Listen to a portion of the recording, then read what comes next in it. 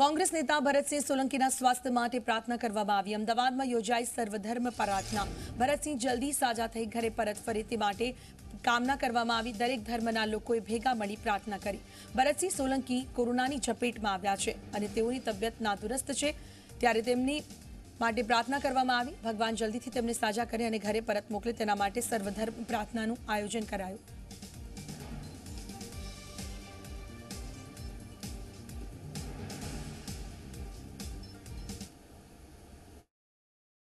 કોંગ્રેસના નેતા ભરતસિંહ સોલંકી અત્યારે હાલ કહી શકાય કે કોરોના મહામારીમાંથી પીડાઈ રહ્યા છે. તેમનો રિપોર્ટ પોઝિટિવ આવ્યો છે. છેલ્લા ઘણા સમયથી તેઓ હોસ્પિટલમાં છે તો તેમની, તેઓ સાજા થઈ જાય, તેમનું સ્વાસ્થ્ય સારું થઈ જાય. તેને લઈને અમદાવાદના ખોખરા વિસ્તારમાં ચર્ચની બહાર સર્વધર્મ પ્રાર્થનાનું આયોજન કરવામાં આવ્યું છે, જેમાં તમામ ધર્મના લોકો ભેગા મળી અને ભગવાનને પ્રાર્થના કરી રહ્યા છે કે ભરતસિંહ સોલંકી જલ્દી સાજા થઈ અને તેમની વચ્ચે આવી જાય.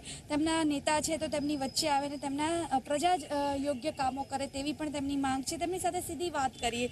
આજે આપ અહીંયા શું કરી રહ્યા છો ભરતસિંહ સોલંકી માટે?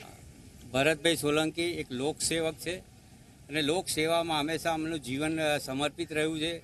એવા ભરતભાઈને આજે દેશની જરૂર છે ત્યારે ભરતભાઈ સાજા થાય અને ફરીથી લોકસેવામાં જોડાય એના માટે સર્વધર્મ પ્રાર્થનાનું આયોજન કરવામાં આવ્યું હતું. અને એમાં સૌ ધર્મના લોકો અહીંયા જોડાયા છે. કયા કયા ધર્મના લોકો અહીંયા જોડાયા છે? કયા પ્રકારની પ્રાર્થના કરવામાં આવે? ક્રિશ્ચિયન ધર્મના લોકો મુસ્લિમ ધર્મના લોકો મદ્રાસી ધર્મના લોકો અને જુદા જુદા તમામ ધર્મના લોકો પ્રાર્થનામાં જોડાયા છે.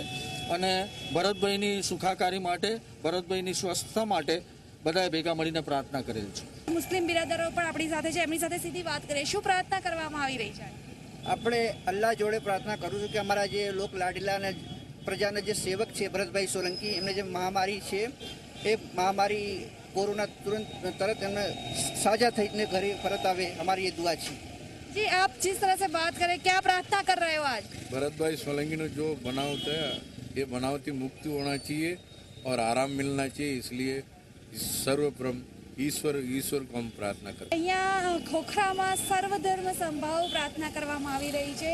ખાસ કરીને વરસી સોલંકીના સારા સ્વાસ્થ્ય માટે પ્રાર્થના કરવામાં આવી રહી છે. તેઓ હોસ્પિટલમાં છે, કોરોના મહામારી થી પીડાઈ રહ્યા છે. તેમનો રિપોર્ટ પોઝિટિવ આવ્યો છે. ત્યારે તેમનું સ્વાસ્થ્ય સારું થાય, તેઓ જલ્દી સાજા થઈ અને લોકોની વચ્ચે આવે, પ્રજાની વચ્ચે આવે તેવી માંગ સાથે તેઓ ભગવાનને અત્યારે પ્રાર્થના કરી રહ્યા છે. દરેક વ્યક્તિ પોતાના ભગવાનને અત્યારે હાલ પ્રાર્થના કરી રહ્યું છે.